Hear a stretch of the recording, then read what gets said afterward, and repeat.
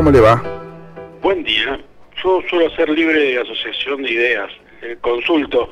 ¿La música de fondo es porque soy decadente? ¿Porque soy un Ah. de viejo? Eh, No, No sé. por- porque, porque la chica del sur. ¿Su señora no es del sur acaso?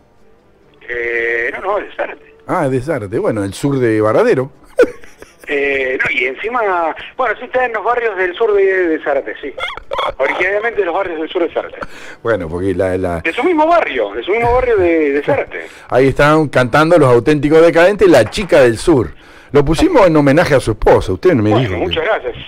Mándele, Sí, mándele saludos después. Se va a poner contenta. ¿Está cocinando una sopa lenteja ella o usted?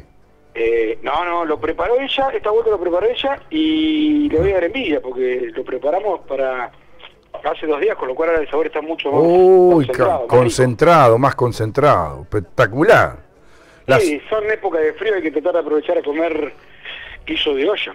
La sopa de lenteja me mata a mí, ¿eh? ¿Qué le pone? ¿Chorizo colorado le pone no? Chorizo colorado, eh, jamón, panceta. Uy, colesterol contento. No, un, un lujo, un lujo. Bueno, eh, estamos ahora nosotros queriendo charlar un poquito con usted eh, sobre la actualidad política, pero antes no puedo dejar de pedirle una opinión porque se acaba de ir alguien que llegó a la política después de bajarse un Fórmula 1, lo llevó Menem, fue dos veces gobernador de la provincia de Santa Fe, tres veces senador y fue reconocido ayer en su poster despedida eh, el Lole Reutemann por, por propios y extraños. ¿Qué- ¿Tiene algún concepto de, de ese político argentino? Eh, como político o como deportista. No sé lo que tenga ganas de decir. No, como deportista me parece que supo marcar una época y acercó este, tras Fangio el deporte motor a- internacional a, a los argentinos y a una generación la marcó.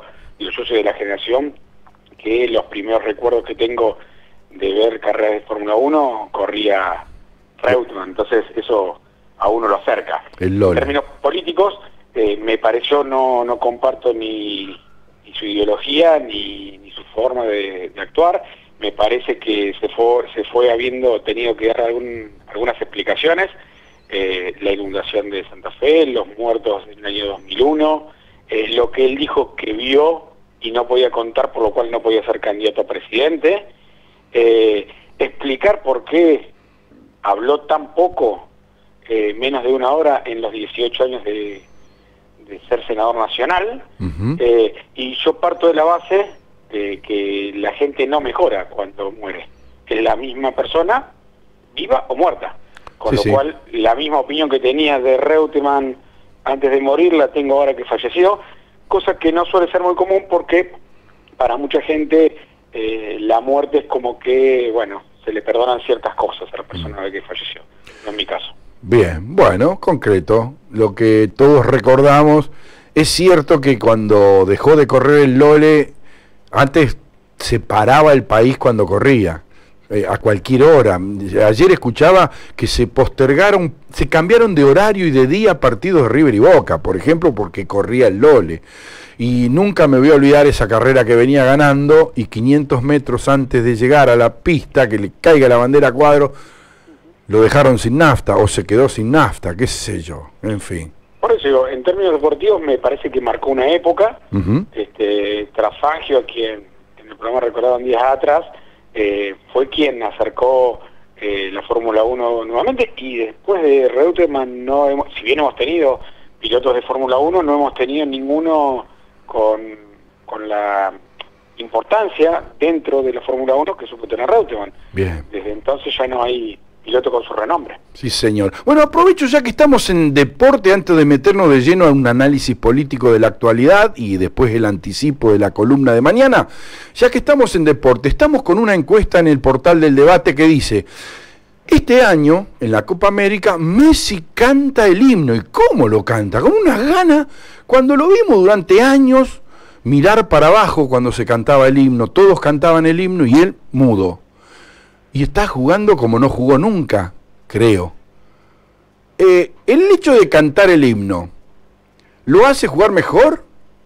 No solamente a Messi, al que canta el himno con ganas, en la vida, en la sociedad, donde se tenga que desempeñar, ¿es señal de patriotismo, de nacionalismo? ¿Lo hace jugar mejor el papel que debe jugar? Eh, contesto y fundamento. No. Y voy a decir por qué no. A ver. Porque en pocos lugares se canta el himno con mayor sentimiento que en las Fuerzas Armadas. Bien. Videla cantaba el himno con mucha fuerza. Bien. Con lo cual me exime, el, solo nombrarlo me exime de, explicar por qué bien. el himno no te hace actuar bien, ni te hace actuar mejor. Eh, no, no, no, es más que una eh, un acto social en el cual uno se siente parte de un grupo eh, de pertenencia por compartir ciertos eh, símbolos, porque ni siquiera se comparten ciertos valores. Eh, el himno lo cantan buenos tipos y buenas mujeres y e hijos de puta, hombres y mujeres, y perdón por el término, pero no, no, yo no veo que el hecho de cantar el himno a uno lo convierta en tal o cual persona. Bien, clarísimo. Ahora, ¿qué pasa si llegamos a levantar la Copa de, de, América eh, después de 28 años el, el sábado? nada más que nada menos que en el Maracaná ante Brasil y por primera vez Messi cantó el himno. ¿Qué va a pasar? ¿Va a seguir pensando igual? Sí, claro. Es que no me, no me cambia nada porque, eh, insisto lo mismo, me sobran ejemplos para, para demostrar malas acciones, incluso fundamentadas a partir de cantar el himno. Bien. Eh, yo, a mí me marcó mucho, es uno de los primeros recuerdos que tengo de chico, la guerra de Malvinas. Sí, señor. Eh, y cada, cada día que, que entrábamos en el colegio, en la escuela, en la escuela 10, eh, cantábamos el himno de Malvinas. Eh, y eso no nos hace ni mejores, ni peores, ni más cercanos, ni menos cercanos eh, a, los combatientes y a la realidad del momento. Me parece que es parte de una simbología para aunar esfuerzos y aunar criterios sobre una cuestión emotiva que yo no, no comparto. No, no me parece que pase por ahí. Me parece que eh, yo soy más de una escuela mucho más mundana.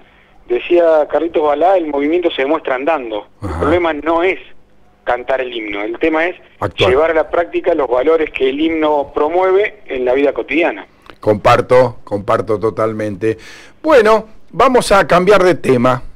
Vamos a preguntarle eh, sobre la situación actual política, se vienen las elecciones, se están peleando, que uno dice que la situación está brava para andar peleándose por los puestos, otro que lo van a poner a dedo. Análisis de la próxima, eh, falta, faltan días nomás, 15 días para el cierre de listas. Sí.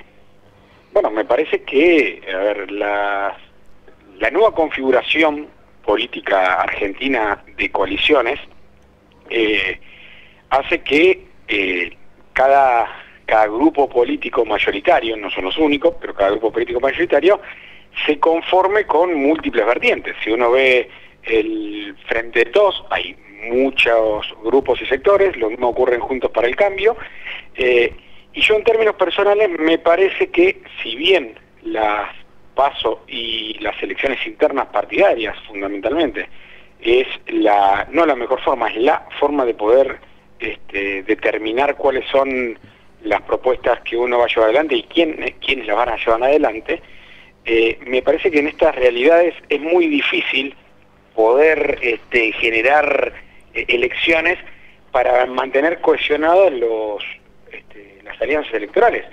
Porque si uno piensa, en cualquiera que piense, ¿eh?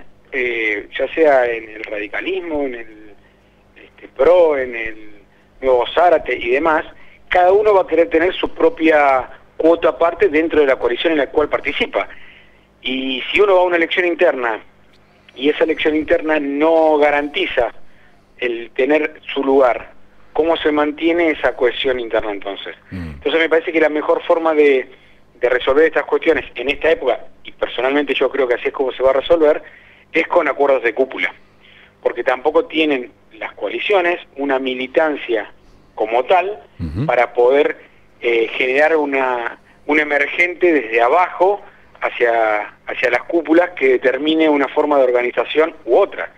Digo, eh, ¿cuál es, sacando el grupo de cerca que se presentó el otro día, pero que no deja de ser una cuestión mediática, porque no, se, hay, no hay un grupo de trabajo, y en una época en donde la pandemia hizo que la participación política en el territorio estuviera muy reducida, es muy difícil.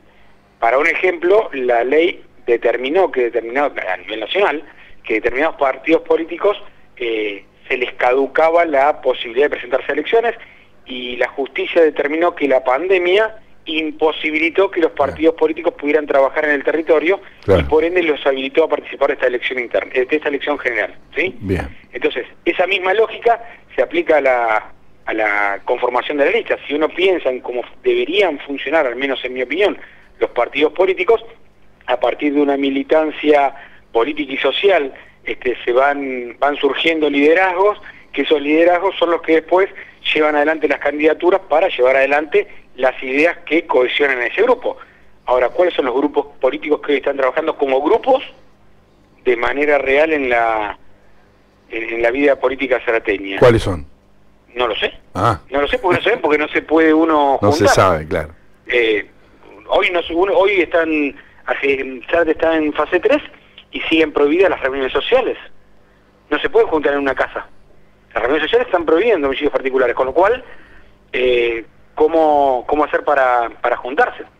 ¿Cómo hacer para trabajar? Ha habido trabajos sociales, los comedores este, comunitarios han seguido funcionando, eh, en los barrios ha habido este, movilización de sectores políticos, pero me parece que la construcción política como tal eh, se vio claramente impedida. Este, sí, reducida y de hecho ah. la justicia así lo entiende y por eso permite que partidos políticos que no están cumpliendo la ley de manera excepcional se puedan presentar.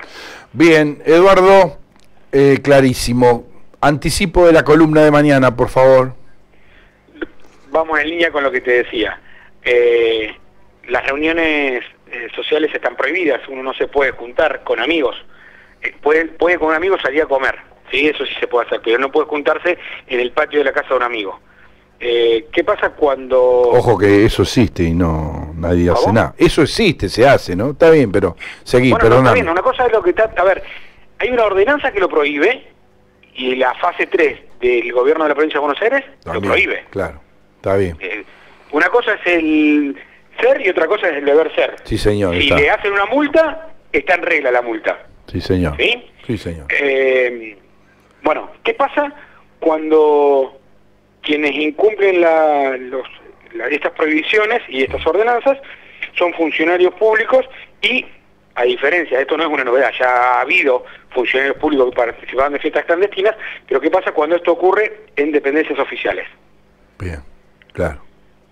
Hay desigualdad, ¿no? Hay desigualdad con respecto a los que no, están, no son funcionarios en el momento y que no pueden tener el mismo beneficio. Por lo pronto, por lo pronto eh, explicar por qué hacen algo que está prohibido.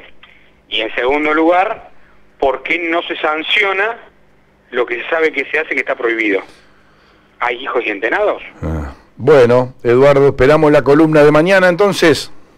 Va a ser un gusto compartirla con ustedes. Gracias por este tiempo. Hasta el próximo jueves. Hasta el próximo jueves, Daniel. Un abrazo grande y buena semana.